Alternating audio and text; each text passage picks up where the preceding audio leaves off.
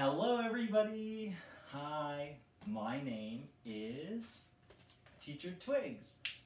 Hello. Good. How are y'all doing today? Good? Good. All right.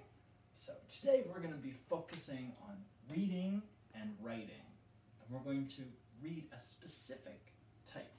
But I'm going to sh tell, show you a story. We're going to read a whole story together first. And I'm going to put it on. So.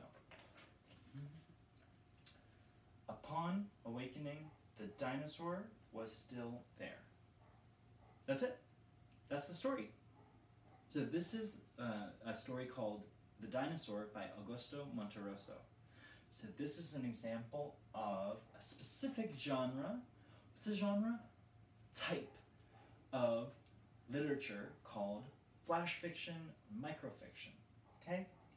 So um, and this is what we're going to talk about. It's very, very small, so we can read quite a lot of different things too. So this is why it has all the elements of story. What does a story need? People, characters, setting, the plot, good, things like this. So this one is a special story but this is an example of the different type.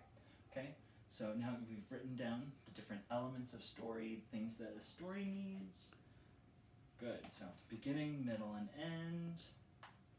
All right, so flash fiction. Flash fiction is a type of fiction that is usually um, uh, shorter. It's uh, usually less than a thousand words, or you know, between like a hundred to a thousand words. But it can be very short. It can be as short as six words, um, but it's usually about that. So that's what we're going to be focusing on today. But what I'm going to ask you to do is take out your phones. Everybody, take out their phones. So that's why normally we're not supposed to use phones in the class, but today we're going to use it because we're going to need it for what we're going to do. Okay? So, I don't. Has anybody ever heard of Twitter? Yeah. Yeah, you've heard of Twitter. Good. So, flash fiction and Twitter go very well together. That's part of it. That's why. So, what you're going to do is you're going to look up, just Google um, Twitterature. Okay. So, Twitterature is flash fiction on Twitter because there's a limit on the number of characters in Twitter, so people have been very creative in making up stories. So what you're going to do is you're going to look it up and then send me the link so I can put it on that so we can project it so everybody can read the different short stories. Okay, so we're going to do that for a little bit. Good. Good. So we've done some extensive reading, reading lots of different stories by different people. Good. So copy and paste, and, and then now we're going to start, we're going to do an activity.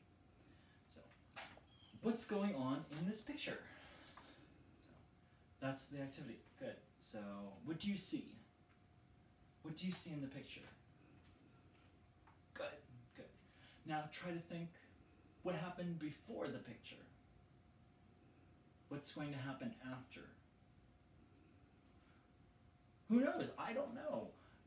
So this is part of it. So we're going to think about what could happen because we're going to write some flash fiction. So some techniques and strategies. Good. So there's two main ones. K-I-S-S. KISS. So keep it short and simple. So keep it short, simple. Good. And cut to the chase. Get right into what's going on. One way of thinking about this is a story, beginning, middle, and end. And here, beginning, where's the beginning, where's the middle, and where's the end? Just start where it's interesting. Good. So these are some strategies because, so now um, we're going to do whisper down the lane or we're going to change it to at me on the feed. Okay? So now we have our Twitter accounts open and we have the hashtag for the class. Good. And I'm going to put a prompt and then you, and then I'm going to at one of the students, one of you guys, to continue on telling what's happening in the story. So we're trying to make a story. Great, you guys are so creative. You guys are so. That's funny. Good. Very good. All right. So now, for um, what we're going to be doing later, so we've read some different examples of flash fiction. We've read a whole story. We've had multiple different stories in one class, and we've thought about some uh, techniques and strategies for writing. And we've practiced getting used to using Twitter too. So using the hashtag, tagging people, making sure that um, we can upload things. Now for the assessment, you're going to write a, your own Twitterature. So your own short story and then upload it to um, the uh, um, to Twitter with the hashtag of the class and every and all that all that stuff too. So it could be just one post, uh, it could be a couple different posts, but we're gonna try to keep it short and sweet. So good, all right. I hope that you guys enjoyed it. Thank you so much, and goodbye.